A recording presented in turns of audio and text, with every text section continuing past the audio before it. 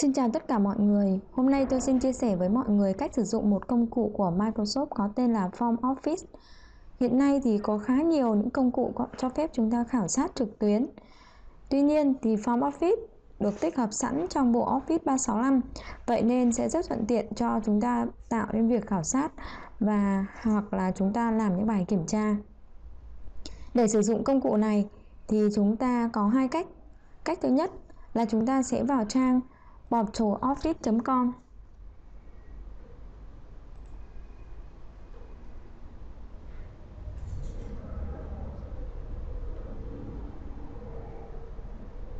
Chúng ta đăng nhập và kích vào phần form để bắt đầu sử dụng. Cách số 2 là ta có thể vào trang formoffice.com nhấn Get Started đăng nhập và sẽ được thấy cái giao diện của Form Office được hiển thị. Đây là hai form mà tôi đã tạo ra sẵn trước rồi. Vậy nên là bây giờ chúng ta muốn tạo một cái bảng khảo sát mới hoặc là một bài kiểm tra mới, chúng ta nhấn vào New Form. Còn New Quiz là tạo bài kiểm tra. Ví dụ tôi muốn tạo bản khảo sát nhấn vào New Form. Ở đây tôi sẽ tạo một bản khảo sát. Tôi nhấn vào New Form.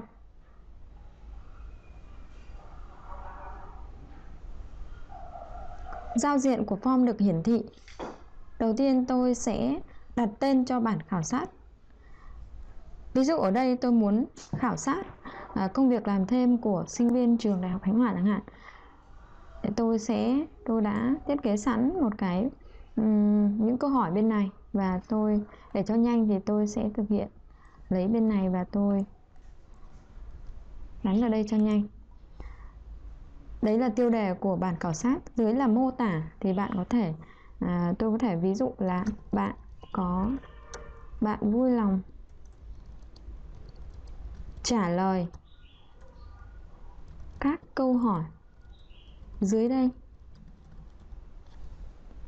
tiếp theo, chúng ta nhấn vào add question.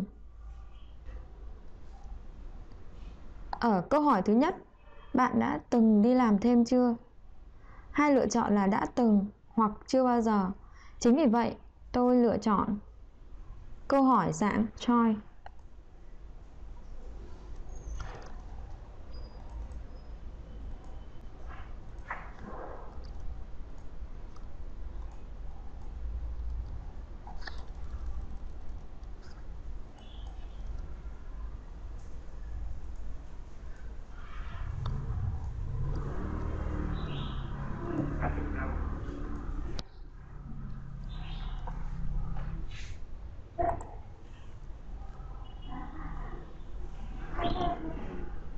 Câu hỏi số 2, điều gì làm bạn quan tâm nhất khi bắt đầu tìm công việc làm thêm?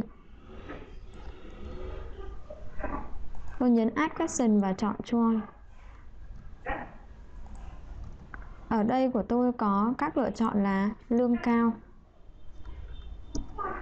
kinh nghiệm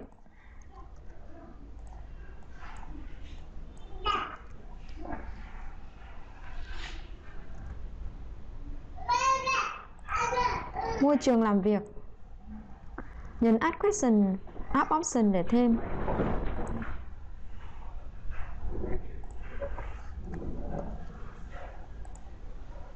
Cơ hội làm việc hay đáp án khác? Ở đây vậy tôi sẽ nhấn là add other option. Câu hỏi này của tôi có thể là chọn nhiều các phương án khác nhau, chính vì vậy tôi sẽ chọn lựa cái chức năng là multi answer cho phép trả lời và chọn nhiều đáp án.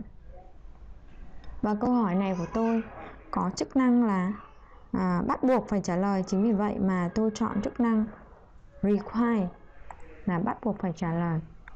Tương tự như vậy câu 1 cũng là bắt buộc. Thì khi mà chúng ta tạo một câu hỏi dạng à, bắt buộc thì chúng ta sẽ thấy có một cái dấu sao màu đỏ bên cạnh để hiển thị là yêu cầu là bắt buộc. Trong mục 3 chấm này, chúng ta sẽ khám phá thêm, đó là có chức năng subtitle cho phép chúng ta nhập các cái mô tả con trong từng cái câu hỏi này.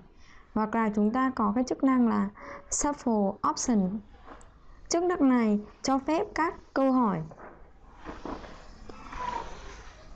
Xin lỗi, các đáp án này sẽ được trộn xáo trộn trong một cái câu hỏi này các đáp án này sẽ được xáo trộn. Câu hỏi số 3 bạn bắt đầu làm thêm khi nào? Ở đây tôi ờ, yêu cầu dưới dạng là trả lời dưới dạng là ừ, ghi rõ ngày cụ thể. Chính vì vậy mà tôi sẽ nhấn vào add question và chọn, lựa chọn câu hỏi dạng date.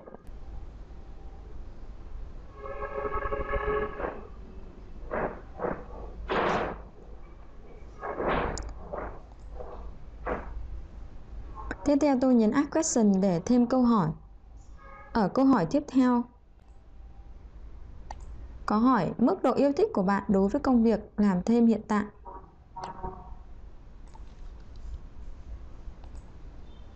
Tôi nhấn Tôi nhấn vào Ask Question và tôi chọn loại câu hỏi Rating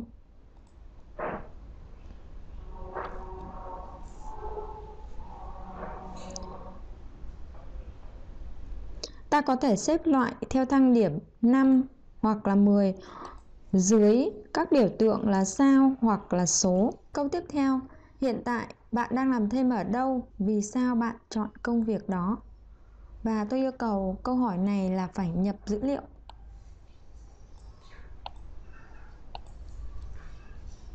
Và tôi nhấn Add Question và chọn câu hỏi dạng text.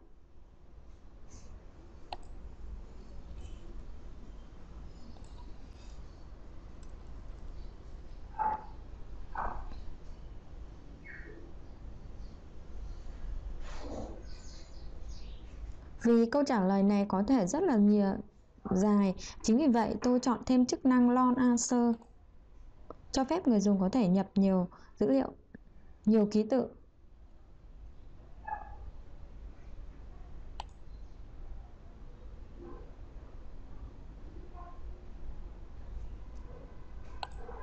Câu cuối cùng, bạn dự định làm thêm khoảng bao nhiêu tháng? Và tôi yêu cầu ở đây là chúng ta phải nhập dữ liệu là số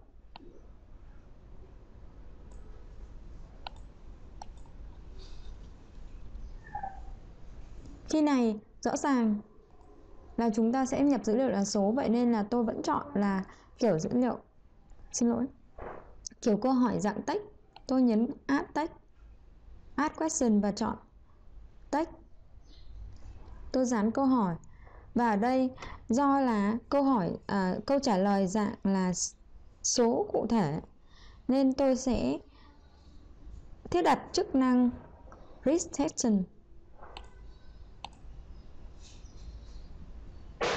Restriction trong dấu ba chấm để thiết lập cái điều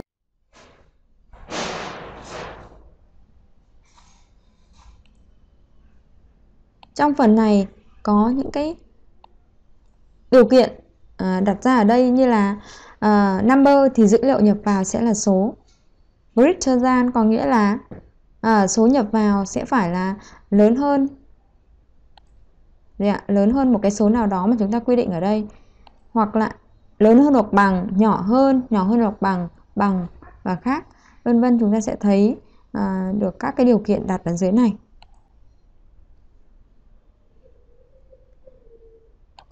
Như vậy là tôi đã tạo xong 6 cái bảng khảo sát này. Ngoài ra thì chúng ta cũng có thể thấy rằng là nó có thêm một số các cái chức năng nữa như là à, trong những cái câu hỏi này chúng ta có thể uh, chèn thêm những uh, cái uh, insert những cái uh, uh, bức hình cũng như là video uh, vào trong này. Ví dụ như chúng ta muốn chèn hình thì chúng ta nhấn vào đây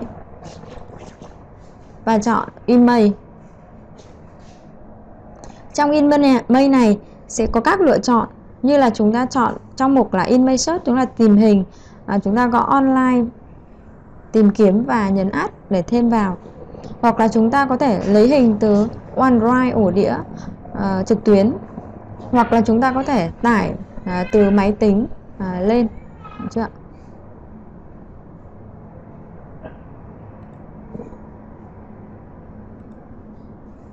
Nếu như chúng ta muốn chèn video thì chúng ta nhấn vào video và chọn dán cái đường link uh, YouTube video ở dán cái đường link YouTube ở trên này và nhấn vào app. Ở trong mỗi cái câu hỏi này có các cái chức năng khác như là chúng ta thấy ở đây là có các biểu tượng này như là sao chép câu hỏi xóa câu hỏi hay di chuyển câu hỏi lên xuống ở các vị trí khác nhau. Ngoài ra thì chúng ta à, sau khi mà chúng ta soạn thảo xong thì chúng ta có thể nhấn vào cái hình con mắt này để xem trước cái giao diện của bản khảo sát khi mà người dùng có thể xem. À, thì có hai dạng để chúng ta xem. Thì một là xe, dạng xem ở trên máy tính computer hoặc là chúng ta xem ở dưới dạng mobile. Đây ta có thể thấy. Xem dưới dạng mobile thì nó sẽ như thế này.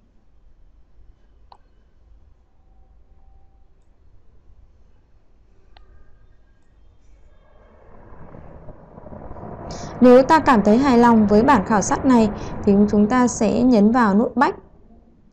Quay lại để thiết lập tùy chọn trước khi chúng ta gửi. Để thiết lập tùy chọn, chúng ta nhấn vào nút 3 chấm, chọn Setting.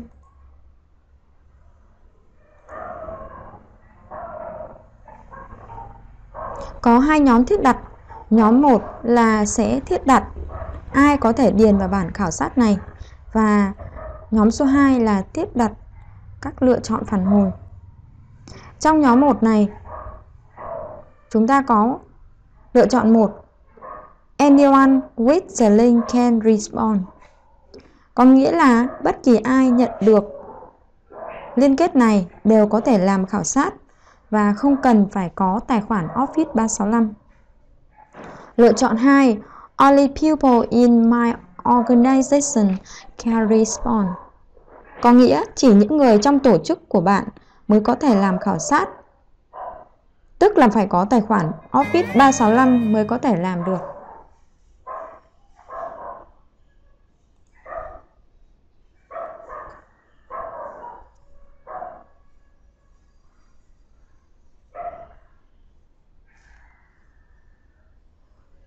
Trong lựa chọn này, chúng ta có mục là Recall Name, ghi nhớ tên của người trả lời khảo sát.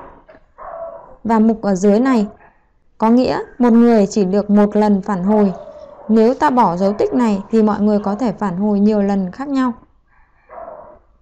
Trong nhóm 2, chúng ta cũng có thể thiết đặt à, cái quy định về thời gian như chúng ta muốn khảo sát này có hiệu lực đến mấy giờ và ngày nào trong mục Start Date hoặc End Date.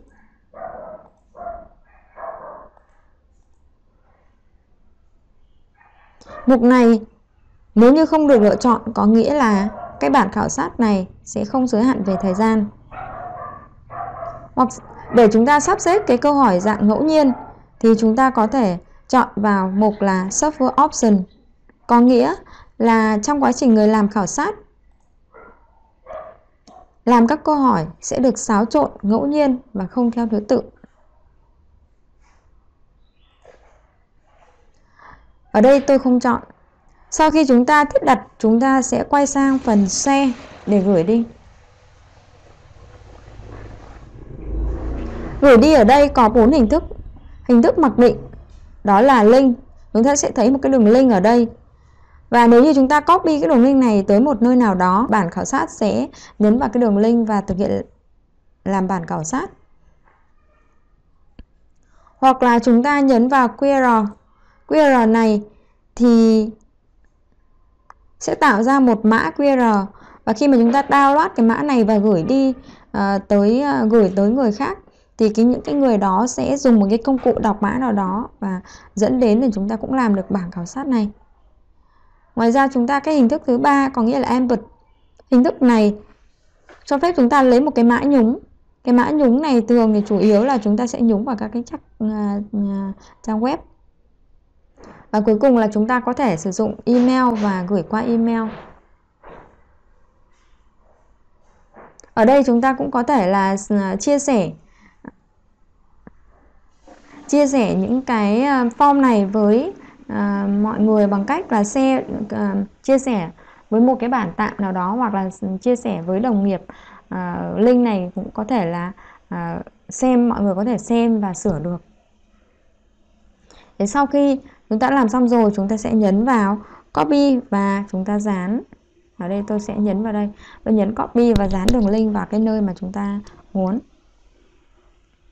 Và tiếp theo chúng ta sẽ chọn để xem những cái phản hồi thì chúng ta sẽ nhấn vào response để xem là những cái phản hồi ở đây thì ở đây hiện tại là cái form của tôi chưa có ai thực hiện à, làm khảo sát cả. Chính vì vậy mà ở đây chưa có kết quả nào. Đây tôi sẽ lấy một cái ví dụ về cái bản khảo sát. Ừ, ví dụ đây là khảo sát của tôi.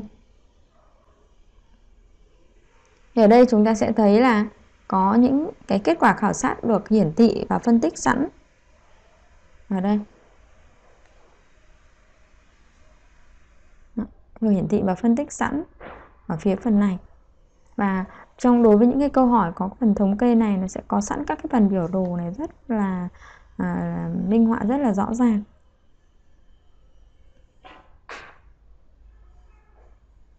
Tại đây thì tôi cũng có thể là chiết xuất ra à, kết quả này dưới dạng file Excel để chúng ta có thể phân tích dữ liệu uh, sâu hơn như và kết quả khi mà chúng ta chuyển xuất sang thì nó sẽ dưới dạng như thế này.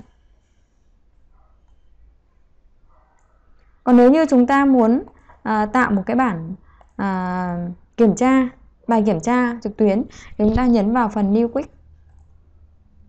Thì trong cái New Quick này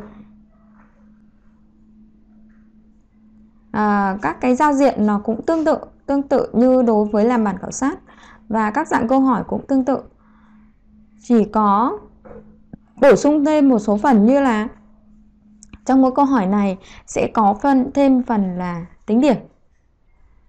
Chúng ta nhập ừ, dữ liệu điểm vào đây. Hoặc là chúng ta có thể là chèn những cái công thức toán học ở trong từng câu hỏi.